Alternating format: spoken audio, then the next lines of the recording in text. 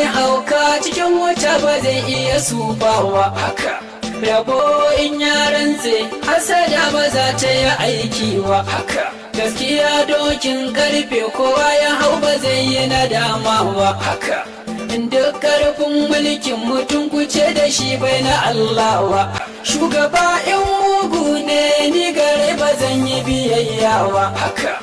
Ina da tunani na da hankali ba zan shiga tarko ba. Haka. Ko kura ta rame karnaka ba sa mace raini ba. Haka.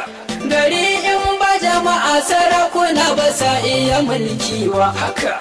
Kashin gwiwar kura karnaka ba sa iya wawawa